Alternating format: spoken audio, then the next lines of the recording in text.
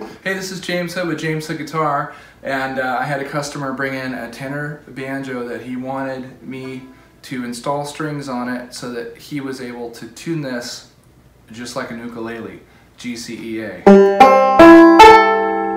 And we've done it. There's a lot of people out there talking about um, naysaying that it can't be done, and there are people out there saying that it can be done.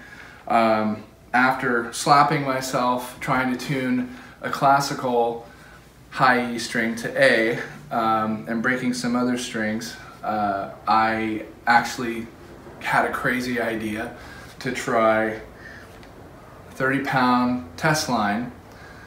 Um, this is KastKing monofilament 30 pound test line. So I'm gonna take you guys fishing right now. 50 millimeter is the size. And as you can hear, that's sitting at A.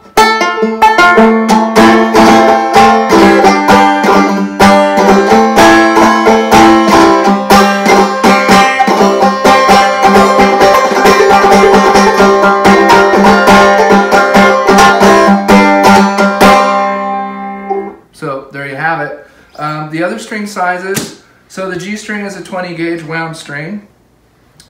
The C string is a 13 gauge and the E string is an 11 gauge.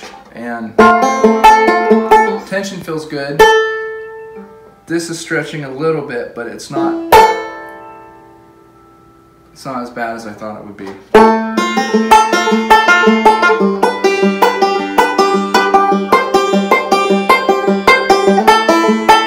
So for you guys out there that want to play your tenor banjo like an ukulele, you can do it. See you later.